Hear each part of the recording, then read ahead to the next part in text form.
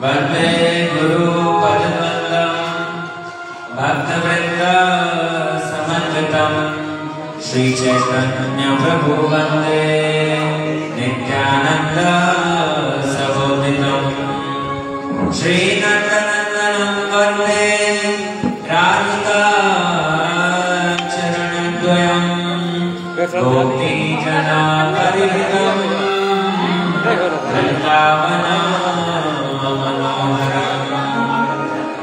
वाञ्छाकल्पतरोभ्यश्च कृपा सिन्धु च। पावनेभ्यो वैष्णवेभ्यो नमो मुँह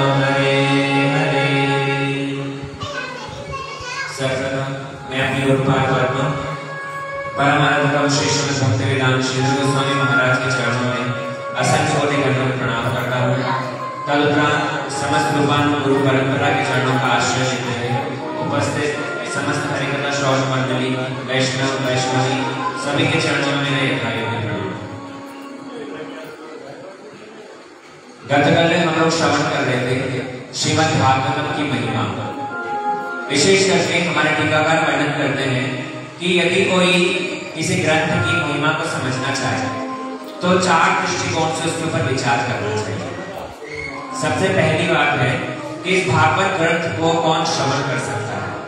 ये ग्रंथ श्रवण करने का अधिकारी कौन है?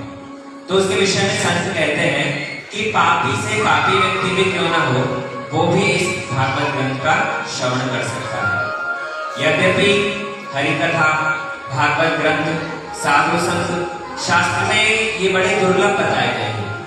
इनकी बड़ी महिमा गान करी गई है। और सुखदेव गोस्वामी तो कहते हैं जन्मांतरे भवे पुण्यम तथा भागवतम लब्धम।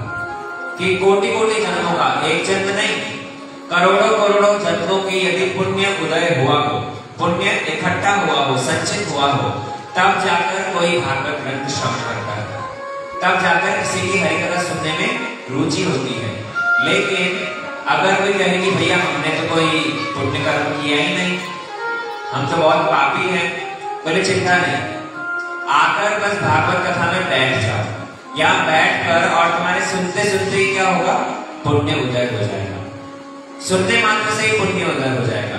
इसलिए शास्त्र वर्णन करते हैं सुनराम स्वकथा कृष्ण पुण्य श्रवण कीर्तन ठाकुर की कथा, अगर कोई मन देकर श्रवण करे तो उससे बड़ा पुण्य काम और कोई नहीं है। हम लोग के लिए क्या रुचि होती ना? थोड़ी चीटियों पर आटा डाल दिया। गरीबों को खाना खिला दिया, किसी भिखारी को कुछ पैसे दे दिए, अन्न, वस्त्र इत्यादि के दान को बहुत बड़ा पुण्य मानते हैं, है ना? ये करके और ऐसे सोचते हैं आज मैंने खूब बड़े भारे पुण्य काम कर दिया। लेकिन शास्त्र कहता है, कृष्ण कथा श्रवण करना सबसे ज़्यादा पुण्य काम है। इससे ज़्यादा पुण्य काम और कुछ नहीं हो सकता। पापी व्यक्ति भी अगर ये कथा को श्रवण करे धुंधुकारी कल हम सुन रहे थे ना? धुंधली का बेटा धुंधुकारी वो इतना पापी था, इतना पापी था।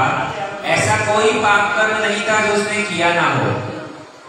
चोरी करना, डकैती डालना, दूसरों को उत्पीड़न करना वैश्यागमन शराब पीना, सिगरेट, बीड़ी, मांस, सारे गंदे काम सारे पाप काम जितने हो सकते हैं, सारे के सारे कर लिए थे। अपनी माँ को इतना सताया उसने, माँ ने आत्महत्या कर ली, कुएँ में कूद के। पिताजी को इतना सताया पिताजी भी घर छोड़कर भाग गए। पाँच पाँच वैश्याओं के साथ में रहने लगा। ऐसे पापी व्यक्ति और मर, मरने के बाद में प्रेत योनि है ना? सदगति नहीं हुई। भूत योनि प्रेत योनि को प्राप्त हुआ। उसके भाई ने गया में जाकर पिंडदान भी किया। लेकिन पिंडदान से भी जिस पापी की मुक्ति नहीं हुई ऐसे पापी की मुक्ति किससे हुई? ये भागवत ग्रंथ से। भागवत ग्रंथ ऐसा ग्रंथ है, जो पापी से पापी व्यक्ति क्यों ना हो, उसको भी मुक्ति प्रदान कर देगा।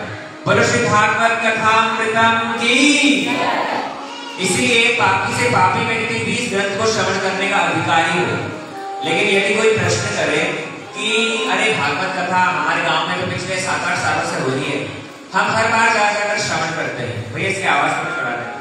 माइक वाले अगर कोई प्रश्न करे, अगर कोई कहे कि ये ग्रंथ, ये भागवत कथा हमने बहुत सुनी है। हर साल गाँव में भागवत होती है। हर साल भागवत होती है, हम हर बार सुनते हैं, मुझे पता है। अगर कोई बोले कि बहुत बड़े ज्ञानी है हम, भैया, हनुमान जी जैसे ज्ञानी तो नहीं हो ना? हनुमान जी जैसे ज्ञानी नहीं हो सकते। हनुमान जी को बताया ज्ञानी नाम अग्रगण्यम। ज्ञानियों में सबसे ज़्यादा ज्ञानी हनुमान जी है। लेकिन जहाँ जहाँ पर भी ये राम कथा होती है, जहाँ जहाँ पर भी ये कृष्ण कथा होती है, भागवत कथा होती है, हनुमान जी सबसे पहले वहाँ पहुँच जाते हैं। इसीलिए वर्णन आता है, यत्र यत्र रघुनाथ कीर्तनम, तत्र तत्र कृतमस्तकांजलि बाष्पवारी परिपूर्ण लोचनम मारुति नंदनम राक्षसांतकम कहते हैं जत्र जत्र रघुनाथ कीर्तनम। जहाँ जहाँ पर ये भगवान की कथा होती है, जहाँ जहाँ पर भगवान रघुनाथ का कीर्तन होता है, उनकी कथा होती है, वहाँ वहाँ पर हनुमान जी अलग अलग रूप धारण कर कर बैठ जाते हैं। सबसे पहले वहाँ पर आते हैं। ऐसा नहीं कथा के बीच में आए, या सबसे लास्ट में उसमें प्रसाद कर रहा उस समय आ गए। ना भैया, कथा से सबसे पहले आ जाते हैं। कथा आरंभ में से वक्ता आने के पहले आ जाते हैं हनुमान जी। बड़े दीनहीन भाव से हाथ जोड़ के उस जगह को प्रणाम करते हैं।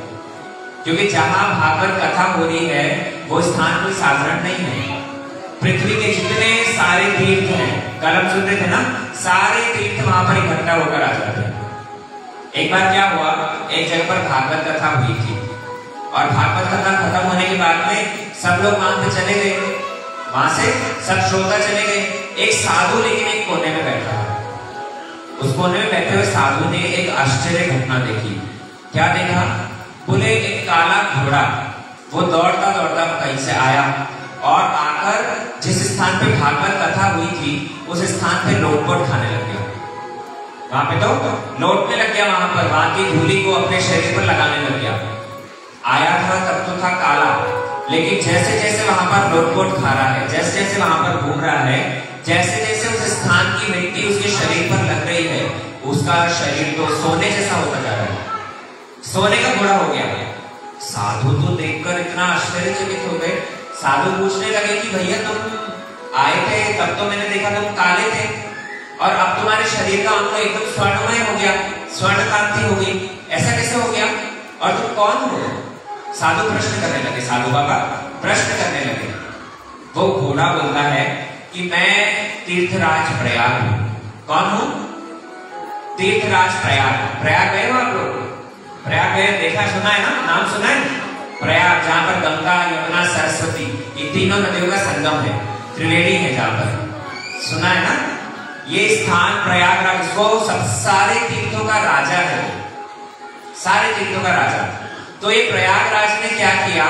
काले घोड़े का रूप धारण करके उस स्थान पर आया और वहाँ पर लोटपोट खाने लग गया। प्रश्न कर रहे कि, तुम लोटपोट क्यों खा रहे थे? बोले, सारे दुनिया के लोग हैं ना, मेरे अंदर आते हैं, मेरे पास में आते हैं, मेरे अंदर स्नान करते हैं, त्रिवेणी पे स्नान करते हैं। बहुत तीन नदियों का संगम है, उस संगम पे अगर कोई स्नान करे तो सारे पाप खत्म हो जाते हैं। बोले, सभी लोग आकर मेरे अंदर पाप छोड़ और सबके पाप लेते लेते मैं देखो पूरा काला हो गया हूँ। पूरा काला हो गया मैं। इसीलिए मुझे भी तो भैया पापों से उद्धार चाहिए। मैं अपने पाप का छोड़ूँगा? इसलिए मैं क्या करता हूँ बोले भागवत कथा जहाँ हो रही है उस स्थान पे मैं आ जाता हूँ। उस स्थान की मिट्टी की इतनी महिमा है उस स्थान की रज की इतनी महिमा वहाँ पर लोटपोट खाने से मेरे सारे पाप धुल जाते हैं। सारे पाप धुल जाते हैं। लाल की। जय। इसीलिए तीर्थराज प्रयाग भी जहाँ आकर पवित्र हो जाते हैं, वो स्थान साधारण नहीं है भैया। हनुमान जी ये बात जानते हैं, इसीलिए उस कथा में आकर, कथा स्थल पे आकर प्रणाम करते हैं। प्रणाम करके और बड़े दीनहीन भाव से, आँखों से अश्रु बहाते हुए, बड़े क्रंदन करते हुए, हृदय गदगद करते हुए भगवान की कथा सुनते हैं। इसीलिए पापी से पापी व्यक्ति भी क्यों ना हो, ज्ञानी से ज्ञानी व्यक्ति भी क्यों ना हो? लेकिन भागवत कथा श्रवण कर सकता है। यदि कोई कहे कि भैया सुनी सुनाई कथा, हम कितनी बार सुने? अरे, पहले सुन रखी है। वही परीक्षित महाराज को श्राप मिला, सुखदेव गोस्वामी आए, सात दिन कथा हुई और उसके बाद में वो धर्मदेश धाम को चले गए। कितनी बार सुने? गोस्वामी तुलसीदास जी कहते बोले, नहीं। आप देखो, कोई अगर व्रत रखता है, एक दिन रोटी सब्ज़ी ना मिले, कैसी हालत हो जाती है? है ना? लगता है भैया कब अगला दिन आए सूर्योदय हो, रोटी सब्ज़ी खाएँ। अगर साधारण, रोटी साथ में इतना रस है, इतना उसको खाने की लालसा होती है, क्या भगवान की कथा में कोई रस नहीं होगा? भगवान की कथा में भी रस है। लेकिन जो लोग ऐसा बोलते हैं कि सुनी सुनाई कथा हम कितनी बार सुनेंगे, गोस्वामी जी कहते हैं, राम कथा, जय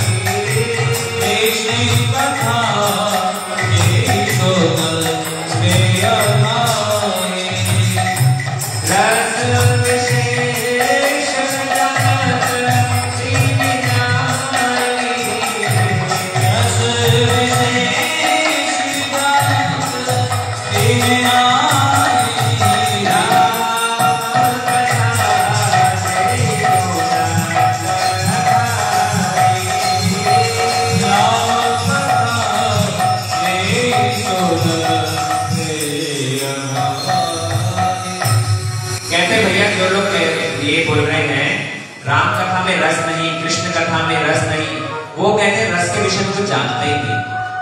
साधारण रोटी सब्ज़ी में अगर इतना रस है कृष्ण कथा में भी ऐसा ही उससे, ऐसा ही नहीं, उससे भी कोटि गुण श्रेष्ठ रस कृष्ण कथामृत में है। इसलिए ये तो अमृत है। इस अमृत का तो इन कानों से बस पान करते रहो, पान करते रहो।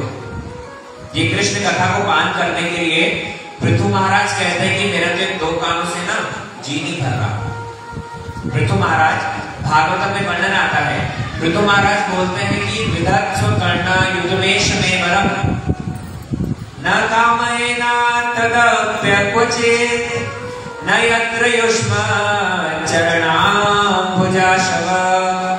महत्तम मुखर्चितो विदत्सु कर्णायुतमेश मे वरम। मेरा तो इन दो कानों से नहीं भरता मुझे कृष्ण कथा सुनने के लिए हज़ार कान चाहिए। कितने चाहिए? अगर कोई बोले, भैया, दो कान तो यहाँ देखने में अच्छे लग रहे हैं। माथे पे दो कान हो जाए, गाल पे दो कान हो जाए, पूरे शरीर पे कान ही कान कान ही कान, हज़ार कान, क्या देखने में बढ़िया लगेगा? देखने में अच्छा रहेगा? भगवान कहते तुम ऐसे हज़ार कान क्यों मांग रहे हो? पृथु महाराज कहने लगे, बोले कि नहीं, हज़ार कान नहीं चाहिए मुझे। कान तो दो ही हो लेकिन इन दो कानों में इतनी शक्ति दे दो कि मैं हज़ार जगह की कथा भी सुन सकूँ। कथा सुन के कभी मुझे अरुचि नहीं हो, कभी मुझे बोर ना लगे। ये कथा जितनी जितनी मैं श्रवण करूँ, उतनी उतनी ही मुझे और अंदर से सुनने की उत्कंठा बढ़ती जाए। मेरे सुनने की कभी तृप्ति ना हो, आप मुझे ऐसा कर दो। और इसका अर्थ करते हैं कि भैया, जैसे आपके यहाँ सिद्ध बाबा मंदिर पे लोहारने में कथा हो रही है, ऐसे ही कहीं और भी तो कथा हो रही होगी? कहीं और भी हो रही होगी। जहाँ जहाँ पर कथा हो रही है, मैं वहाँ वहाँ जाकर और कथा रस का आस्वादन करूँ। कहीं की कथा मेरी चूक ना जाए।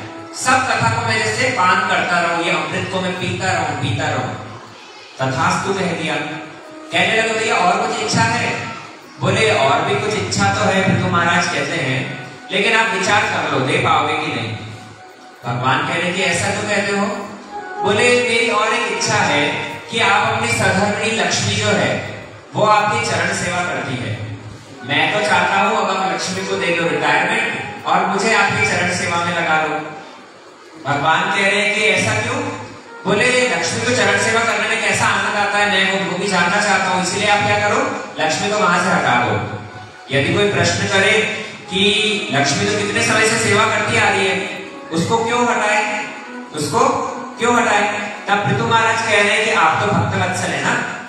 भक्त अगर आपसे कुछ इच्छा करे, आप निश्चित रूप से उसको पूरा करते हैं। इसलिए आप क्या करो? मुझे अपने चरणों की सेवा करो पृथु महाराज, इस तरह से भागवत में प्रार्थना करते हैं भगवान से कि कृष्ण कथा की इतनी महिमा है, मेरे हज़ार कान होने पर भी मुझे तब जाकर तृप्ति मिलेगी। श्री कृष्ण कथा अमृतम की। हमारे संत हुए हैं, श्री रूप गोस्वामी पाल। वो कहते हैं, ये कृष्ण ये दो अक्षर है, कृष्ण। इन दो अक्षर में इतना रस है, इतना रस है। इन दो अक्षर को उच्चारण करने के लिए केवल मात्र एक ही जीवा। लगता है ब्रह्मा को ना सृष्टि करना ही नहीं आता। ये ब्रह्मा की सृष्टि में ना खोट है। क्यों? बोले, कृष्ण नाम इतना मीठा, इतना मधुर नाम है। मधुरम मधुरम मेत मंगला मंगला नाम, सकल स्वरूपम कहते हैं, ठाकुर का नाम मधुर से भी मधुर, मीठे से भी मीठा है, ये मंगल से भी मंगल नाम है कृष्ण का। लेकिन ऐसे कृष्ण नाम उच्चारण करने के लिए केवल मात्र एक जीव का। अरे कृष्ण नाम उच्चारण करने के लिए तो करोड़ों करोड़ों जीवा होने चाहिए, तब जाकर मेरे को शांति मिलेगी। ये कृष्ण नाम इतना मंगलमय है, इतना मधुर है अगर ये कृष्ण नाम मेरे कानों में जाता है। कानों में जाने पर और जब हृदय में जाता है, मेरी सारी इंद्रियाँ एकदम स्तब्धीभूत हो जाती है। मेरी इंद्रियाँ ऐसी स्तब्ध हो जाती है, मैं और कुछ करने लायक नहीं रहता। कान में जब पड़ता है, ऐसा लगता है कि इस मधुर नाम को सुनने के लिए केवल मात्र दो ही कान है। मेरे करोड़ों करोड़ों कान क्यों नहीं हो गए? इसीलिए राम कथा कृष्ण कथा जो रसिक है, उनको तो बड़ी ही मीठी लगेगी, बहुत प्यारी लगेगी। ये कृष्ण कथा सुनने का सब कोई अधिकारी है। पापी से पापी भी क्यों ना हो, या फिर ज्ञानी से ज्ञानी भी क्यों ना हो? और विशेष करके ये भागवत ग्रंथ, इसके अंदर जिस प्रकार का प्रयोजन वर्णन किया गया है, भैया हम कोई साधारण वस्तु नहीं पाना चाहते। पद्म पुराण, कल हम सुन रहे थे, पद्म पुराण के अंदर बतलाया है, अगर कोई भागवत कथा, नियम करके सात दिन सुने तो जिनके पास में पैसा नहीं है, उनके घर में धन संपत्ति आ जाएगी। जिन लोगों के शरीर रोगी है, उनको निरोग काया मिल जाएगी। जिन लोग घर में संतान नहीं है, उनको संतान की प्राप्ति हो जाएगी। पुत्र, परिवार, धन, दौलत, ये जड़ जगत की चीज़ें तो भागवत आसानी से दे देता है। लेकिन हमको ये सब नहीं चाहिए। हम अगर मांगेंगे तो ठाकुर जी से सबसे श्रेष्ठ वस्तु मांगेंगे। क्या मांगेंगे? बोले, कृष्ण प्रेम। क्या मांगेंगे? क्या मांगेंगे? कृष्ण प्रेम। बोले, कृष्ण प्रेम क्या है? कृष्ण प्रेम का क्या मतलब हुआ? कहते हैं, हम भगवान के अंश हैं। जैसे हमारे माता पिता माता पिता से दादा दादी दादा दादी के ऊपर परदादा इस तरह से चलते चलते अगर देखोगे, हम आए हैं भगवान से। वेद कहता है अमृत से पुत्रा। हम कोई भगवान की संतान है। लेकिन भगवान को भूलने के कारण इस जड़ जगत में दुख पा रहे हैं। कोई तन से दुखी किसी के शरीर में विभिन्न प्रकार के रोग हैं। कोई मन से दुखी, मन शांत नहीं है। कोई किसी घर में पैसा नहीं है। किसी के बच्चे बात नहीं सुनते। किसी की बहू लड़ाकू आ गई। किसी की सांस से पटती नहीं। किसी की नड़क बहुत लड़ाकू है। तरह तरह की सबके घर में परेशानी। है कुछ ना कुछ तरीके से सब किसी न किसी बात से दुखी है। है ना? लेकिन हम दुखी हैं क्यों? मूल कारण क्या है? कहते हैं हम भगवान को भूल गए। हम भगवान की संतान हैं, उनको भूलने के कारण हम ये सारा दुख पा रहे हैं। इतने दुख कष्ट हमारे जीवन में आ रहे हैं। तो हम अगर, हमें कृष्ण प्रेम की प्राप्ति हो जाती है, भगवान से वापस हमारा संबंध स्थापित हो जाता है तो क्या होगा? सारे दुख कष्ट दूर हो जाएँगे। सारे दुख कष्ट दूर हो जाएँगे। केवल मात्र जो कृष्ण प्रेम जिनके हृदय में है, वो ही सुखी है। गोस्वामी जी कहते हैं, कोई तन दुखी, कोई मन दुखी, कोई धन बिना रहते उदास। थोड़े थोड़े सब दुखी, सुखी कृष्ण के दास। केवल मात्र जो भगवान के दास हैं, जो भगवान की एकमात्र सेवा पूजा करते हैं, उनके लिए सारी प्रचेष्टा करते हैं, वो भी सुखी है। इसीलिए भागवत के अंदर जिस वस्तु का वर्णन किया गया है, आराध्यो भगवान ब्रजेश वृंदावनम। हम भगवान कृष्ण की आराधना करते हैं। कौन से कृष्ण? बोले, जो वृंदावन धाम में रहते हैं। मथुरा वाले नहीं। भगवान जब मथुरा में जाते हैं जब उनकी शादी हो जाती है, मथुराधीश बन जाते हैं, ऐसे कृष्ण नहीं। जब वो द्वारका में चले जाते हैं, द्वारकाधीश बन जाते हैं, ऐसे कृष्ण भी नहीं। आराध्यो भगवान ब्रजेश कन्या अर्थात ब्रज धाम में जो कृष्ण विराजमान है गैया के पीछे पीछे गौचारण करते हैं। ब्रज गोपियों से छाछ गुजरियों से वहाँ पर छाछ दही की भिक्षा मांगते हैं। गुजर तो गुजरी है इसीलिए श्रीमती राधा रानी देखो वो भी गुजरी है आप लोग बड़े सदवंश में जन्म लिए हो आपका बड़ा सौभाग्य है। राधा रानी श्री ब्रज गोपियाँ ये सब गुजरिया थी। कृष्ण उन्हीं गुजरियों के सामने। कृष्ण आप लोगों के ही देवता है। आप लोगों की उपासक है। कृष्ण ऐसी गुजरियों के सामने छचिया पर छाछ के लिए नाचते थे। गोपी के सामने कभी कृष्ण ने छाछ मांगी। गोपी के अंदर कर रही है थोड़ा नाच के देखा। कृष्ण वहाँ पर ठुमक ठुमक के नाचते हैं। बाद में कहते हैं, भाई, गोपी थोड़ी छाछ पिला दे। ये नैक चुल्लू सा छाछ गोपी देती है। कृष्ण उसको पीते हैं। बोलते, और पिला दे। बोले, कन्हैया, फिर नाच के दिखा। फिर कन्हैया उनके सामने नाचते हैं। प्रत्येक गोपी के घर में जाकर कृष्ण माखन चोरी करते हैं, है ना? ब्रज गोप के साथ में, सखाओं के साथ में कृष्ण खेलते हैं। कभी गिल्ली डंडा, कभी उनके साथ में छुपन छुपाई। उनके साथ में कृष्ण विभिन्न लीलाएँ करते हैं। तो ऐसे ब्रज के कृष्ण की हम पूजा करें, है ना? हमारा ऐसा ही आराध्य होना चाहिए। बोलो श्री कृष्ण चंद्र भगवान की और विशेष करके देखो कृष्ण अगर हमें प्राप्त तो हो भी जाए, लेकिन अगर हृदय में प्रेम ना हो तो कुछ फ़ायदा नहीं। हमारा उद्देश्य कृष्ण दर्शन करना नहीं है। बड़े ध्यान देकर सुनो। हमारा उद्देश्य कृष्ण नहीं है, कृष्ण प्रेम है। बोले, क्या फ़र्क हुआ दोनों में? आप बताओ, कंस ने कृष्ण को देखा था कि नहीं? कंस ने कृष्ण को देखा था कि नहीं? अरे भैया, कंस ने कृष्ण के दर्शन किए थे कि नहीं? किए थे ना? शिशुपाल दंतवक्र, उन्होंने कृष्ण के दर्शन किए थे कि नहीं? किए थे। लेकिन दर्शन करने पर भी क्या कुछ फ़ायदा हुआ? कोई फ़ायदा नहीं हुआ। कृष्ण को मारने के लिए चेष्टा कर रहे थे। कृष्ण के प्रति द्वेष भाव था। हृदय में शत्रुता थी। इसीलिए वो कृष्ण दर्शन भी किसी काम का नहीं। वो कृष्ण दर्शन भी किसी काम का नहीं। लेकिन ब्रज गोपियों के हृदय में प्रेम था। कृष्ण प्रेम जिनके हृदय में हो तो क्या होता था? कृष्ण स्वयं चले आते हैं। कृष्ण स्वयं खींचे चले आते हैं। इसीलिए ये भागवत ग्रंथ हमको जो प्रयोजन स्थापित कर रहा है, सबसे सर्वश्रेष्ठ प्रयोजन। क्या? बोले कृष्ण चंद्र की उपासना। ये भागवत ग्रंथ की महिमा कल हम लोग पद्म पुराण से श्रवण कर रहे थे। आज स्कंद पुराण की कुछ महिमा हम लोग श्रवण करेंगे। कृष्ण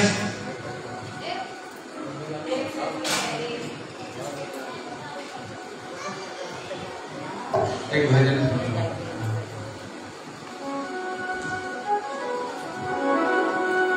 बोलिए श्री रानी की जय। मेरी करुणा, ईश्वर का।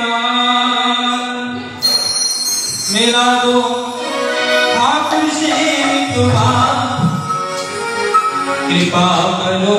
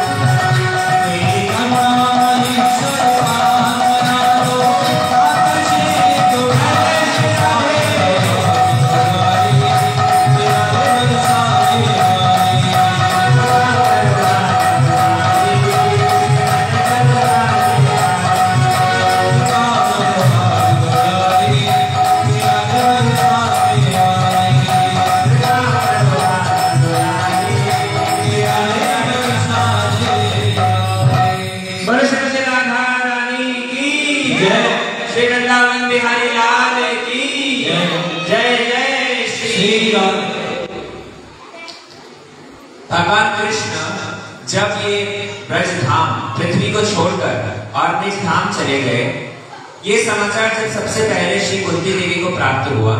कुंती देवी ने साथ साथ अपना शरीर परित्याग कर दिया। ये शरीर छोड़ दिया। कृष्ण विहीन प्राण और वो धारण नहीं कर पाए। अरे जब कृष्ण ही इस धराधाम पर नहीं रहे, कृष्ण दर्शन यदि नहीं होगा तो और ये जीवन रखने का क्या लाभ? है इसीलिए उन्होंने अपना शरीर परित्याग कर दिया। पंच पांडव भी उसी समय पर स्वर्गारोहण के लिए चले गए। और उन्होंने इंद्रप्रस्थ का राजा बना दिया श्री परीक्षित महाराज को। और ब्रजधाम का राजा बना दिया श्री बद्रीनाथ को, कृष्ण के बड़पौत्र अभी एक समय परीक्षित महाराज बद्रीनाथ से मिलने के लिए ब्रज में गए। कुशल पूछ रहे हैं, बोले, कैसे हो तुम? ब्रज में सब कुशल मंगल तो है ना? बद्रीनाथ कहने लगा, बोले, देखो परीक्षित, हे प्रभु, आप सर्वविदित हैं, आप जानते हैं। कृष्ण जब इस धराधाम से चले गए हैं, उनके साथ साथ में समस्त ब्रजवासी, यहाँ तक कि ब्रज के पशु, पक्षी, कीट, पतंग, सभी को प्रभु अपने साथ में लीला करते हुए लेकर चले गए। इस ब्रज में कोई प्रजा भी नहीं है, इसीलिए बिना प्रजा के राजा की क्या शोभा? मैं यद्यपि ब्रज का राजा हूँ, लेकिन मेरे राजत्व के लिए ना प्रजा है, ना कोई जीव। इसीलिए मैं अत्यंत दुखी हूँ। परीक्षित महाराज बचनाभ की अवस्था को समझ गए और इसीलिए उन्होंने तभी सांडिल्य ऋषि को बुलाया। ये सांडिल्य ऋषि कौन है? ये सांडिल्य ऋषि पुरोहित है। सांडिल्य ऋषि श्री नंद बाबा के पुरोहित है। तो उन्होंने सांडिल्य ऋषि को बुलाया और सांडिल्य ऋषि को कहने लगे कि ब्रज धाम की महिमा के विषय में, कृष्ण तत्व के विषय में आप जरा बचनाथ को समझाइए। उसी समय पर सांडिल्य ऋषि वर्णन करते हैं। श्रुणुतम दत्त चित्तो में रहस्यम ब्रज भूमिजम व्रजनम व्याप्तिर्युक्ता व्यापना कहते हैं सुनतम तत्व चित्तों में आप बड़े ध्यान पूर्वक रहस्यमय कथा है। बड़े श्रेष्ठ कानों से उग्र होकर श्रवण कीजिए। बोले, क्या? रहस्यम ब्रज भूमि ये ब्रज भूमि का जो तत्व है, ये ब्रज भूमि को साधारण मत समझो। ये ब्रज भूमि आज आप लोग गए हो? वृंदावन गए हो? वृंदावन गए हो ना? आज जिस तरह से वृंदावन देखने में प्रतीत होता है, हम अगर जाएँगे, कोई बद्धजीव जाकर अगर वृंदावन भूमि को देखे, क्या देखेगा? बोले, यमुना, काली काली बह रही है, पानी बड़ा कम हो गया है। कितनी नालियाँ हैं, नालियों में सुअर घूम रहे हैं, है ना? कितने सारे रोड पर गंदगी पड़ी हुई है पॉकेट मार है, जाते हैं तो चोरी कर लेते हैं पॉकेट मार लेते हैं। तो ऐसा दर्शन, ब्रज का दर्शन नहीं है। ब्रज का तत्व साधारण आँखों द्वारा दर्शनीय नहीं है। ब्रज धाम ऐसा नहीं। तो फिर कैसा है? गुणातीतम पर ब्रह्म व्यापकम ब्रज उच्यते सदानंदम परम ज्योति मुक्तानाम परमद्वयम ब्रज का तत्व यदि समझना चाहते हो तो ऐसे नहीं भैया किसी साधु के मुख से श्रवण करके ब्रज धाम की महिमा सुननी पड़ेगी ब्रज कैसा है बोले गुणातीतम इस त्रिजगत इस जड़ जगत के त्रिगुणों द्वारा व्याप्त नहीं है इन गुणों से अतीत है। गुणातीतम परम ब्रह्म ये जो गुणातीत परम ब्रह्म श्री कृष्ण चंद्र है वो वहाँ पर सर्वदा निवास करते हैं। ब्रज का अर्थ क्या हुआ? ब्रज गतो जो सब समय चलायमान है। इसीलिए कृष्ण आज भी वहाँ पर लीला विलास कर रहे हैं। कृष्ण आज भी नित्य प्रति वहाँ पर लीला करते हैं। सांडिल्य ऋषि समझा रहे हैं, कृष्ण यद्यपि आत्माराम है। कृष्ण के हृदय में कोई भी इच्छा नहीं है, लेकिन आत्माराम होते हुए भी उनकी ब्रज धाम में इच्छाएँ होती है। कृष्ण भगवान के साक्षात, लेकिन भगवान होते हुए भी ब्रज धाम में आकर और एक छोटे बालक की तरह लीला करते हैं। मैया से भयभीत होकर प्रभु कभी कभी रोने लगते हैं, आँखों से अश्रु बहने लग जाते हैं। कभी कभी सखाओं का जूठा भी खाते हैं। कभी कभी माँ उन्हें ओखल में बाँध देती है। जैसे एक छोटा बच्चा शरारत करने पर माँ जैसे उसको शासन करती है। ठीक उसी प्रकार कृष्ण यहाँ पर नरवत लीला कर रहे हैं। सर्वत्र विराजमान लेकिन आत्मा तो राधिका तस्य तयेव रमणादसो कृष्ण आत्माराम होने पर भी उनकी आत्मा कौन है? बोले राधा रानी श्रीमती राधा रानी कृष्ण की आत्मा है, और इसीलिए उनको आत्माराम संज्ञा दी गई है। उनकी आत्मा श्रीमती राधा रानी है। राधा के बिना कृष्ण आधा है। श्रीमती राधा रानी जब तक कृष्ण के वाम पार्श्व में नहीं हो, तब तक कृष्ण अधूरे हैं। बोले श्रीमती राधा रानी की सांडिल्य ऋषि वचनाथ को बड़े सुंदर भाव में समझा रहे हैं। देखो वचनाथ तुम्हें ऐसा लगता है कि कृष्ण ये धराधाम छोड़कर और अपने धाम को चले गए, लेकिन ऐसा नहीं है। कृष्ण अभी भी यहाँ पर निवास करते हैं। लीले एवं वास्तविक व्यवहारिक कृष्ण की दो प्रकार की लीलाएँ हैं। बड़े ध्यान से समझिए। कृष्ण दो प्रकार की लीलाएँ करते हैं। कैसी कैसी बोले वास्तविक लीला और व्यवहारिक लीला। दोनों में क्या फ़र्क हुआ? बोले व्यवहारिक लीला ये है कृष्ण द्वापर युग में आए थे, गोकुल में जन्म लिया था, बड़ी सुंदर सुंदर लीलाएँ करी, सात वर्ष के होने के समय पर गिरिराज धारण किया, कुछ समय बाद रास लीला करके प्रभु मथुरा को चले गए। वहाँ पर कंस को मारा, सोलह हज़ार एक सौ आठ विवाह हुए, द्वारका नगरी स्थापित करी और वहाँ से ब्राह्मण के अभिशाप को ग्रहण करके निज धाम को चले गए। ये है कृष्ण की व्यवहारिक लीला। लेकिन वास्तविक लीला क्या है? वास्तविक लीला यही है कि कृष्ण अभी भी ब्रज में निवास करते हैं। कृष्ण अभी भी जाकर अगर आप देखोगे, वहाँ पर सेवा कुंज सेवा कुंज गए हो? सेवा कुंज जाकर देखना, ब्रज के अंदर दो वन है विशेष करके सेवा कुंज और निधि वन। इन दोनों वन में अगर जाकर देखोगे, रात होते ही, संध्या होते ही, बंदर भी वहाँ पर नहीं रहते। बंदरों को भी निकालना नहीं पड़ता। बंदर भी अपने आप को वन छोड़कर चले जाते हैं। इंसान की तो बात ही क्या? वहाँ पर आज भी राधा कृष्ण की नित्य लीला विलास होता है। इसीलिए बंदर भी उसके साक्षी नहीं हो सकते। बंदर भी वो स्थान छोड़कर चले जाते हैं। वहाँ पर बड़ी सुंदर फूलों की शैया लगती है। उनके लिए, ठाकुर जी के लिए वहाँ पर मीठा, लड्डू, तांबुल और पानी, ये सब चीज़ रखा जाता है। लेकिन सुबह जब मंगल आरती के दर्शन होते हैं, मंगला दर्शन होते हैं उसके अंदर अगर जाकर देखोगे, ऐसा लगता है रात में कोई आया था। शैया पर शयन किया है। पानी का ग्लास कभी आधा मिलता है, कभी लड्डू आधे मिलते हैं, चबाए हुए, टूटे हुए मिलते हैं, तांबुल भी चबाया हुआ मिलता है। क्यों? किसने किया ऐसा?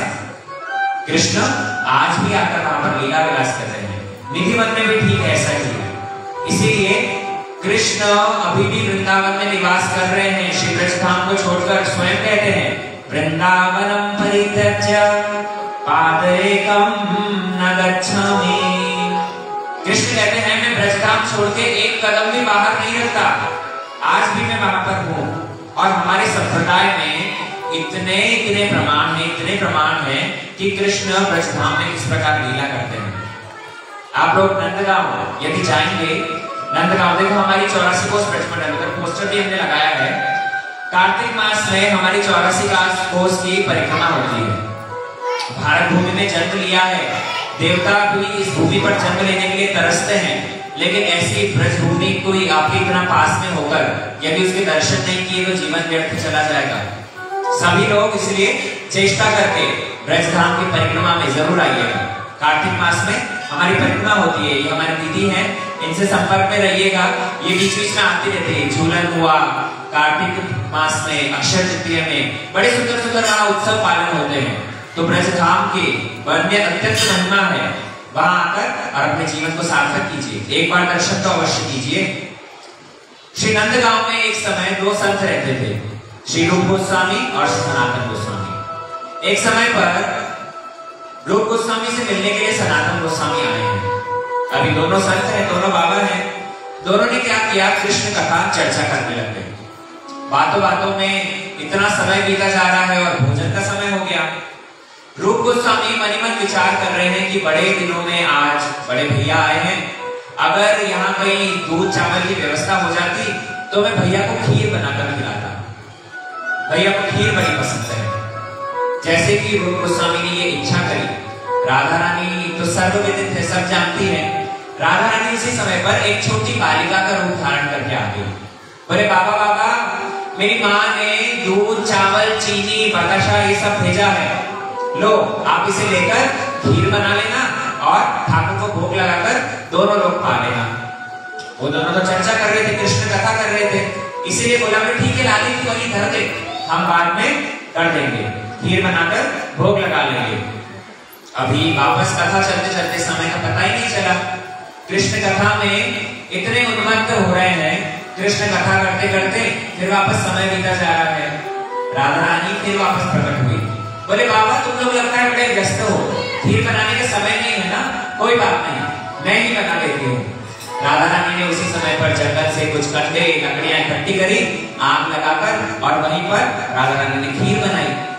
बड़ा सुंदर उसके अंदर केसर, मावा, मिश्री मिश्री देकर और खीर बना ली। खीर बनाकर घर के और राधा रानी वहाँ से चली।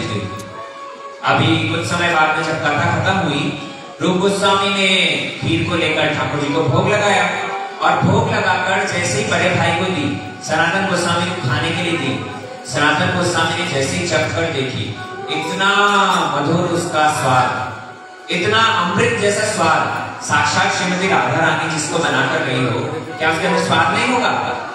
साक्षात कृष्ण को जो भोग लगा हो, गोविंद को भोग लगा हो, कृष्ण का ग्रहण करने के बाद में तो वैसे ही अमृत हो जाता है। और राधा रानी अगर बना रही हो अपने हाथों से, कितना टेस्ट नहीं होगा। इसीलिए उस खीर को चख के और सनातन गोस्वामी को समझ गए। बोले, भैया, ये कोई साधारण नहीं प्रश्न करने लगे, बोले, क्या रूप? तुमने कोई इच्छा करी थी हृदय में? ये खीर खाकर देखो, ये खीर तो साधारण नहीं लगती। बोले हाँ मैं मन मन विचार कर रहा था। आप बड़े दिनों में आए हैं आपको खीर में थोड़ा सा भोजन करने के लिए दूँ। बोले दू इस विचार करके देखो, इस घनाघोर जंगल में तुम्हारी इच्छा को कौन जानेगा? साक्षात श्रीमती राधा रानी यहाँ पर उपस्थित होकर और खीर बनाकर गई है। आगे से ऐसी इच्छा मत करियो।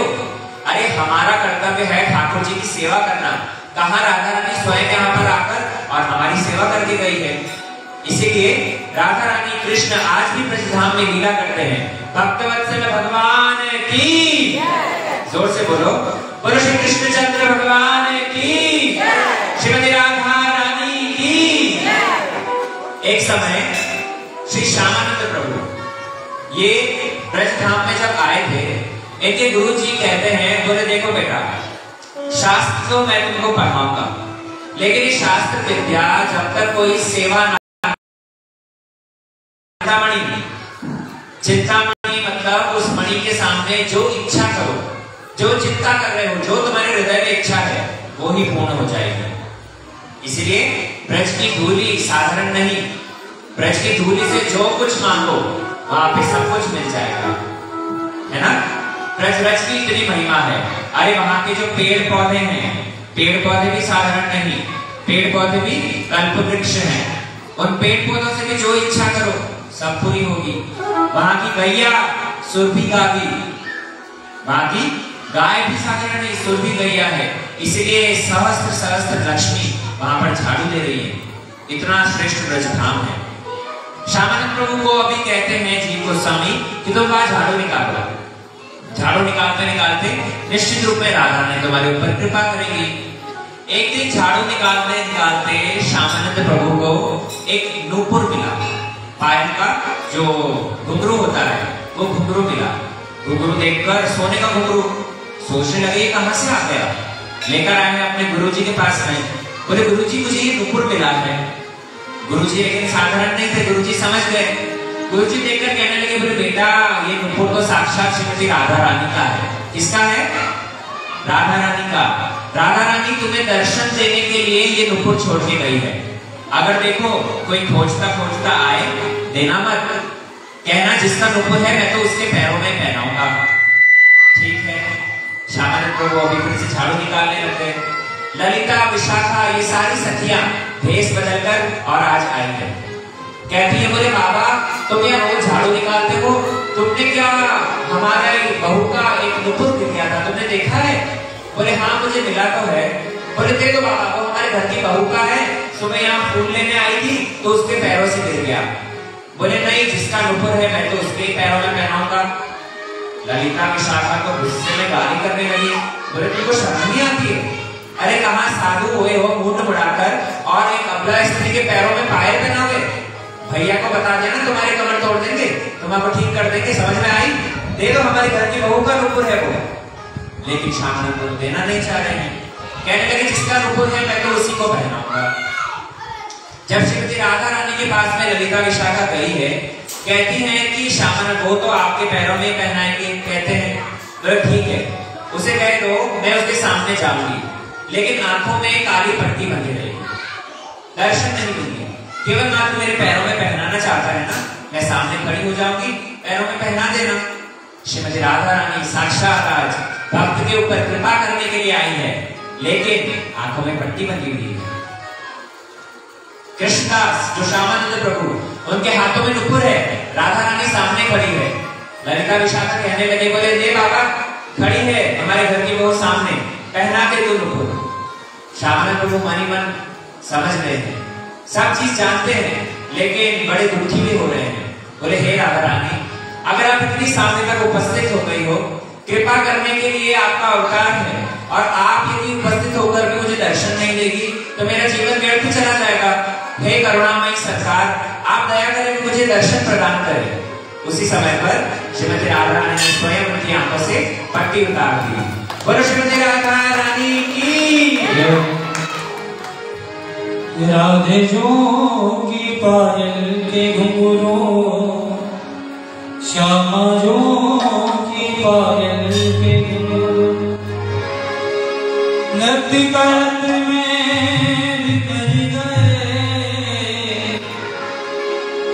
नृत्य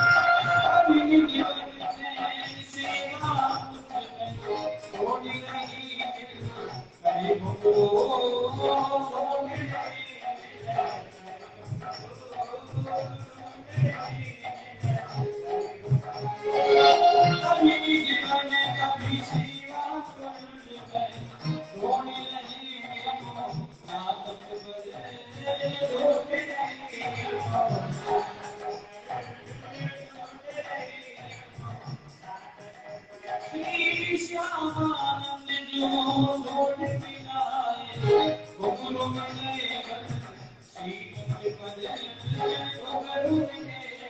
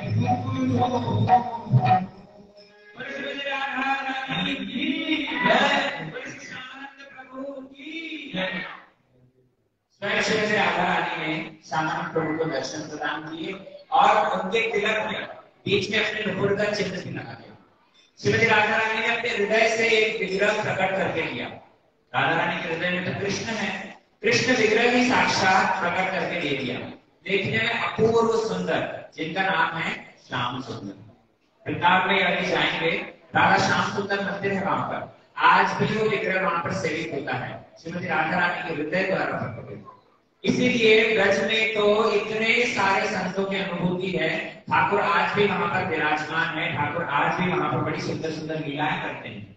लेकिन हम चाहते हैं ना तो हमें वही नारी, सुअर कादा कीचड़ वही दिखता है। जानते हैं क्यों? जानते हैं? हमारी आँखों में पर्दा लगा हुआ है। ब्रह्मा जी कहते हैं, ठाकुर जी की अगर लीला स्थली का दर्शन करना हो, ठाकुर जी का दर्शन करना हो तो आँखों में प्रेम रूपी काजल लगाना पड़ेगा। माताएँ काजल लगाती हो ना? काजल लगाने से जैसे आँख की रोशनी बढ़िया हो जाती है, ऐसे ही अगर हम अपनी आँखों में प्रेम रूपी काजल लगाए, कृष्ण प्रेम रूपी काजल, तब जाकर तो ठाकुर जी का दर्शन हो जाएगा। लेकिन हमारी आँखों में अभी काम, क्रोध, लोभ, मोह, मद, मात्सर्य, ईर्ष्या, द्वेष, यही सब भरा हुआ है। इन आँखों से भैया ठाकुर जी के दर्शन नहीं होंगे। अगर ठाकुर जी के दर्शन करना चाहते हो तो कृष्ण प्रेम भी काजल लगाना पड़ेगा। हृदय में कृष्ण प्रेम जब उदित होगा, साक्षात ठाकुर को दर्शन प्रदान होगा। इसीलिए ब्रह्मा जी कहते हैं यहाँ पर साक्षात शांति ऋषि समझा रहे हैं। हे बचनाभ तुम ब्रज की सारी लीला स्थलियों को प्रकाशित करो। ब्रज की लीला स्थलियों को प्रकाशित करो। कहाँ पर कृष्ण ने माखन चोरी की, कहाँ पर उन्होंने बंशी बजाई, कहाँ पर प्रभु ने मिट्टी खाई थी कहाँ पर उन्होंने गिरिराज गोवर्धन धारण किया। कहाँ पर प्रभु ने रास लीला करी। ये सारी लीला स्थलियाँ लुप्त तो हो गई है। तुम उन्हें वापस से प्रकाशित करो और समय अनुसार तुम्हें कृष्ण के दर्शन एक समय पर सिर्फ़ बचनाभ में आज जो हम जाकर ब्रजधाम की, सारी लीला स्थलियों में दर्शन करते हैं बचनाभ ने ही वो सारे स्थान प्रकाशित किए। इसीलिए आज हमको सारा सुलभ हो रहा है। एक समय पर द्वारका की मनुष्यों को भी इसी प्रकार कृष्ण जिला सताने लगा। वे भी कृष्ण विरह में अत्यंत दुखी थी। यमुना को देखा, यमुना तो बड़े आराम से कलकल नाम करते हुए प्रवाहित हो रही है। प्रश्न करने लगे, देखो यमुने, तुम भी कृष्ण प्रिय सी, हम भी कृष्ण प्रिय सी। हम तो कृष्ण विरह में अत्यंत दुखी हैं। लेकिन तुमको देखते हैं कि तुम बड़ी आनंदित हो। क्या कारण है? यमुना महारानी कहने लगी कि मैंने राधा रानी के चरण पकड़ लिए राधा रानी के चरणाश्रित होने के कारण मुझे पता है कृष्ण ब्रज धाम छोड़कर कहीं नहीं गए। आज भी यहाँ पर विराजमान है। अगर तुम भी कृष्ण विरह से मुक्ति पाना चाहती हो तो श्रीमती राधा रानी का आश्रय दो चलो मेरे साथ में हम जाएँगे उद्धव कुंड में। उद्धव कुंड जब गिरिराज परिक्रमा करते हैं, छोटी परिक्रमा में उद्धव कुंड आता है। वही उद्धव कुंड पे उद्धव जी घास बने हुए तपस्या कर रहे थे। सारे महिषियाँ द्वारका के वहाँ पर आए। बजरनाथ, सभी लोग वहाँ पर होकर और कीर्तन करने लगे जब कीर्तन किया उद्धव जी वहाँ से प्रकट हुए वर्ष उद्धव जी महाराज की उद्धव जी ने वहाँ पर प्रकट होकर, और ये भागवत ग्रंथ श्रवण करना। ये भागवत ग्रंथ श्रवण करना और कृष्ण से मिलना कोई अलग बात नहीं। जब द्वारका के मनुष्यों ने ये भागवत ग्रंथ श्रवण किया, तभी जाकर उनको भी कृष्ण दर्शन हुए। साक्षात राधा कृष्ण युगल किशोर सपरिकर के साथ में प्रकट होकर वहाँ पर दर्शन किए और उनके हृदय में जो विरह था, वो शांत हुआ। इसलिए यहाँ बतला रहे देखो भागवत ग्रंथ सुनना कोई साधारण सत्कर्म नहीं है। सुनना साक्षात कृष्ण से मिलना। कल तो हम सुन रहे थे, देखो, कृष्ण कथा सुनना मतलब हम साक्षात कृष्ण की गोद में बैठे हुए यहाँ पर इस समय अगर मृत्यु भी आ जाए, वो भी हमारा कृष्ण बिगाड़ सकती यमराज को भी बाहर खड़ा रहना पड़ेगा। इतनी महिमा ये भागवत ग्रंथ की। और श्री भागवत महापुराण की। इसीलिए यहाँ पर बताते हैं देखो कि भागवत कथा बहुत मन से सुननी चाहिए। इसलिए श्रोताओं के विषय में बताया, दो तरह के श्रोता है। एक बढ़िया श्रोता और एक घटिया श्रोता। बढ़िया श्रोता कौन कौन है? ध्यान देकर सुनना। आज आप सुन लो और कल फिर हमें बताना। ठीक है? भागवत में सबसे बढ़िया श्रोता बता रहे हैं चार कौन कौन? बोले, सबसे पहले बताया चातक। चातक एक पक्षी होता है। ये चातक पक्षी क्या करेगा? किसी भी सरोवर का, किसी भी नदी का, किसी भी कुएँ का पानी नहीं पिएगा। ये चातक पक्षी वही पानी पीता है जब स्वाति नक्षत्र में बारिश हो। उस बारिश का ही पानी पीता है और कहीं भी पानी नहीं पीता। अर्थ क्या हुआ? बोले भैया श्रोता को चातक जैसा होना चाहिए। सुनेंगे तो कृष्ण कथा ही सुनेंगे। इधर उधर के पानी में मुँह नहीं मारेंगे, इधर उधर की कथा में, इधर उधर की बातों में ध्यान नहीं देंगे। ऐसा नहीं लुगाइयाँ इकट्ठी हो गई तो सास बहू की बातें भी करने लग गई और आगे फिर यहाँ कृष्ण कथा सुनने लग गई, हंसने लग गई ना केवल मात्र कृष्ण कथा ही सुनेंगे चाचक की तरह बनेंगे। ठीक है? दूसरा उदाहरण दिया मछली का। मछली को देखना। मछली को कभी पलक नहीं झपकती उसकी। आँख हमेशा खुली रहती है। है ना? आँख हमेशा खुली रहती है, कभी पलक भी नहीं झपकाती एक श्रोता को मछली जैसा होना चाहिए। टकटकी लगाकर, पूरे ध्यान से कथा सुननी चाहिए। ऐसा नहीं आँख बंद करके और कथा सुन रहे हैं, सुनते सुनते कहीं पे नींद आ गई। जैसे बाबा जी की जय काटी तब जाकर नींद हुई ना भैया, ऐसा मत करो। कथा सुननी हो तो मछली की तरह आँख खोलकर टकटकी लगाकर एक मन से कथा सुनो ठीक है? तीसरा है यहाँ पर उदाहरण दिया हंस का। हंस देखना, हंस को आप अगर दूध और पानी मिलाकर के पीने के लिए दो, वो दूध दूध पी लेगा पानी पानी छोड़ देगा। है ना? दूध दूध पी लेगा पानी छोड़ देगा। क्या अर्थ हुआ? बोले, श्रोता को भी हंस जैसा होना चाहिए। भागवत कथा सुनने के लिए आ रहा है। कथा कथा को ग्रहण करे। यहाँ पर कोई भूल, त्रुटि, कुछ कहीं पर असुविधा है तो उस चीज़ को परित्याग करें। सार सार ग्रहण करें। सार ग्रही होना चाहिए, है ना? कथा केवल मात्र कृष्ण कथा अंदर जाए, बाकी गलत चीज़ उस चीज़ को हटा करें। चौथा उदाहरण दिया, मधुमक्खी। मधुमक्खी देखना ये क्या करती है, बोले, मधुमक्खी, चारों तरफ़ अगर कांटे में बिछे हुए हो, लेकिन बीच में अगर एक फूल खिला हुआ है तो मधुमक्खी वहीं आकर शहद आराम करनी है ना? ऐसे ही एक तो होता है मक्खी और एक होता है मधुमक्खी। मक्खी कहाँ बैठती है? मक्खी कहाँ बैठती है? गंदी जगह पर, है ना? मक्खी देखना बहुत जगह फूल रखे हुए होते फूलों का बागान हो, लेकिन वहाँ पर कहाँ पर कोने में कहीं पे रिश्ता रखी हुई हो तो मक्खी वहीं आकर घुमा दे।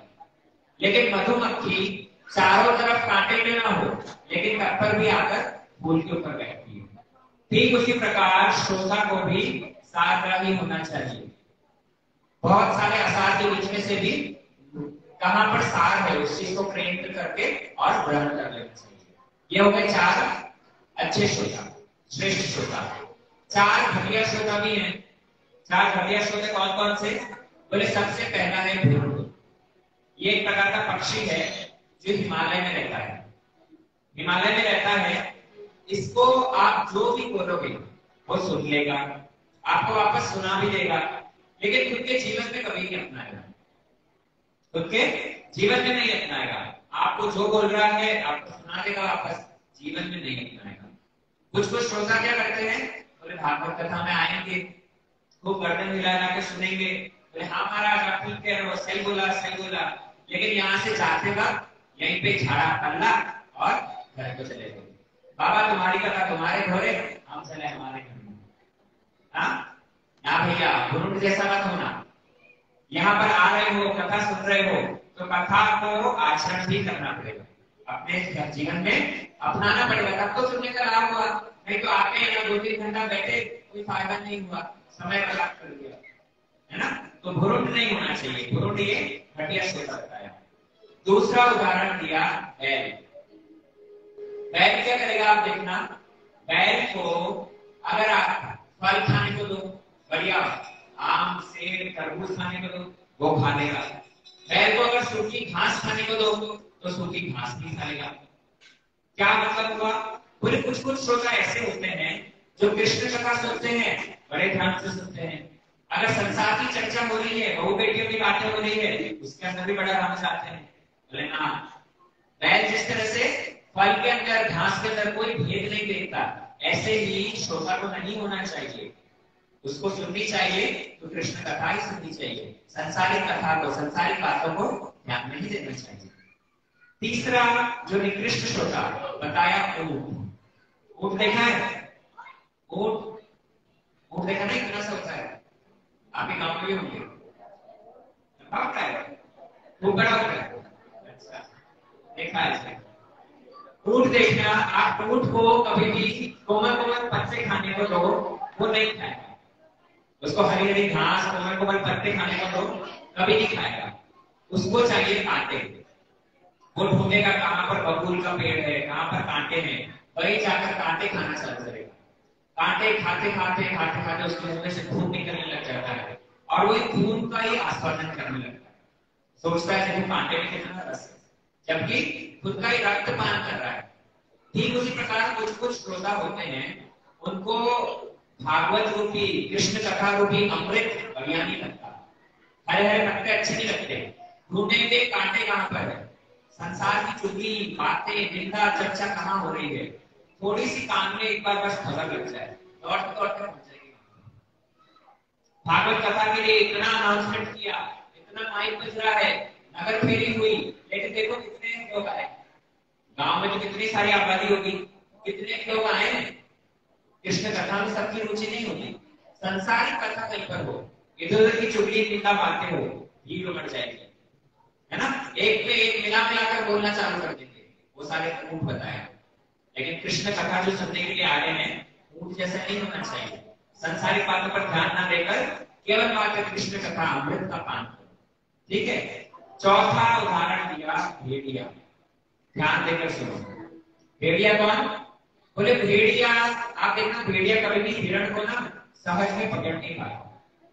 हिरण उसका शिकार है। हिरण को सहज में पकड़ नहीं पाता। कब पकड़ता है?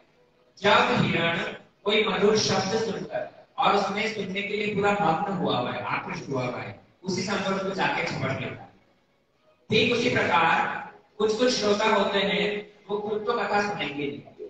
और पास में बैठे अगर कोई ध्यान से सुन भी रहा है, मग्न होकर पूरा मन देकर सुन रहा है, उसको भी सुनने नहीं देते अल्लाह मार के बोले, क्यों? तेरे घर में आज क्या बना है? सुनाए तुमने उसकी बहन उसके यहाँ छोरे के साथ में भाग गई। उसने ये उनके घर में ये चल रहा है, सांस रोज की पटती नहीं। इधर उधर की बातें करके और जो सुन रहा है ध्यान से, उसको भी सुनने नहीं देते। भेड़िए भेड़िए के समान, खुद भी नहीं सुनते, दूसरों को भी नहीं सुनने देते। ये चार निकृष्ट श्रोता बताया याद रहेगा, चार श्रेष्ठ श्रोता, चार निकृष्ट श्रोता। चार तरह के भागवत भी बताई सात्विक, राजसिक, तामसिक और निर्गुण। सबसे पहले राजसिक कथा। राजसिक कथा कौन सी? बोले, बहुत बढ़िया आयोजन किया। खूब बड़े बड़े भंडार लगाए। इतनी आयोजन व्यवस्था में व्यस्त रह गए कि कथा सुनने का टाइम नहीं मिला। कौन आ रहा है, कौन जा रहा है, किसको चाय पानी दिया किसको क्या देना है, क्या नहीं देना, उसी में इतने बिज़ी हो गए कि कथा सुनने का टाइम नहीं मिला। ऐसी कथा को राजसिक कथा लगता है। लेकिन तामसिक कथा तामसिक कथा का क्या अर्थ हुआ? बोले, कथा सुनने की यदि इच्छा हुई कभी कभी आ गए, कभी बीच में आए, कभी लास्ट में आए, कभी इच्छा हुई तो उठ पे एक चक्कर लगा लिया, किसी तरीके से बस सात दिन कष्ट से बड़ा निकाल लिया।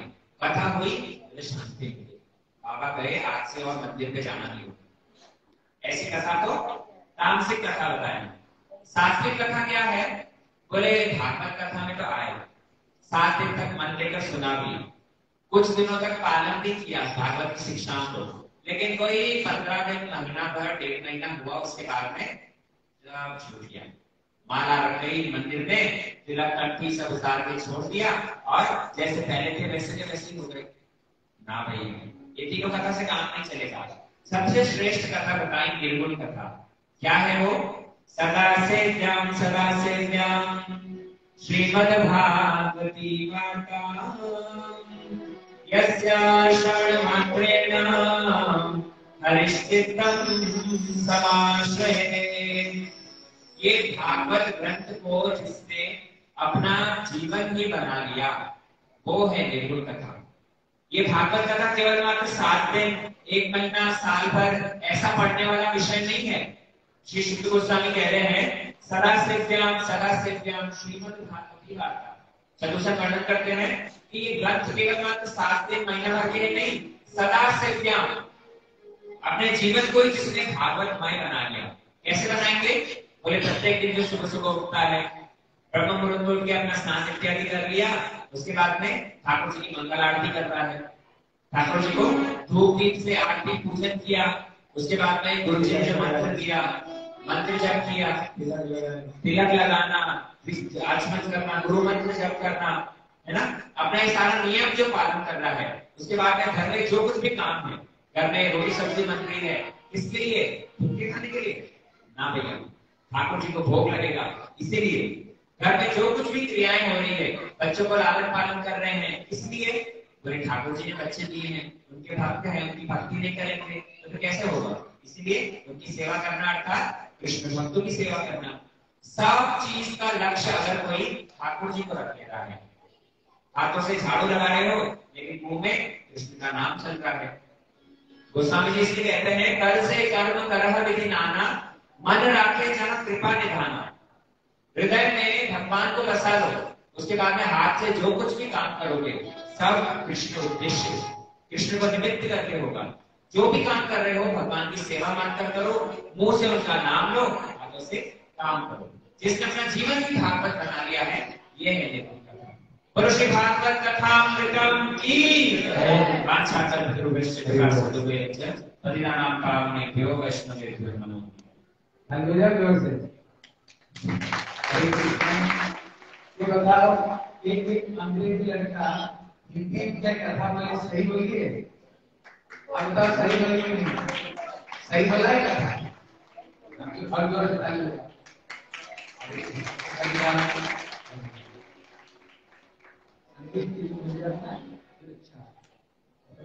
हरे लाइट लाइट हरे लाइट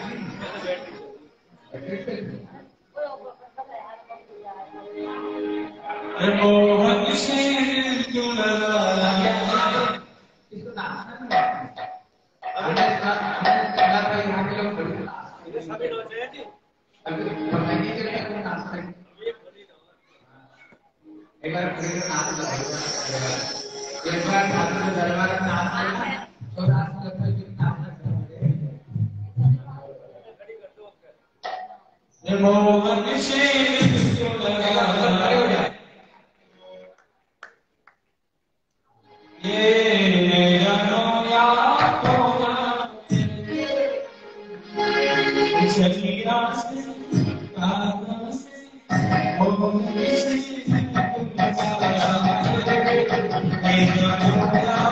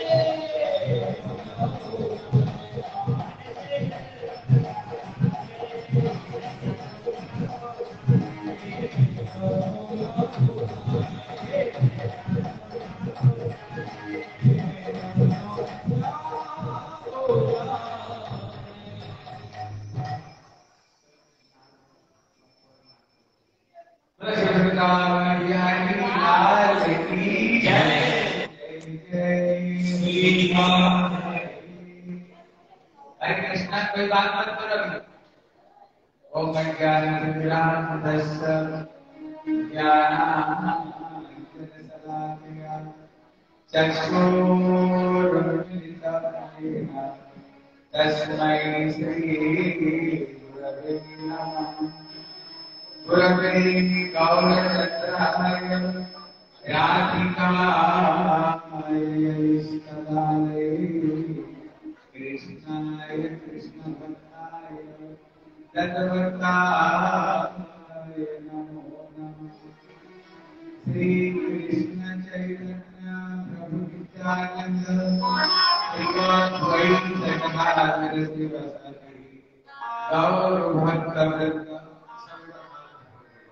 बोलो हरे कृष्ण हरे कृष्ण कृष्ण कृष्ण, हरे हरे।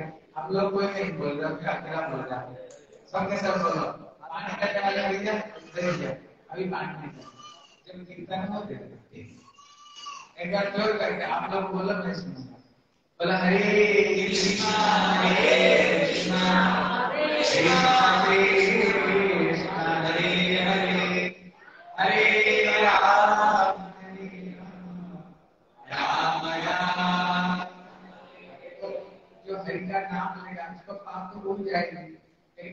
नाम करके बोलेगा इसे और एक बार ज़ोर करके बोलो बोला हरे कृष्णा हरे कृष्णा कृष्णा कृष्णा हरे हरे राम हरे राम राम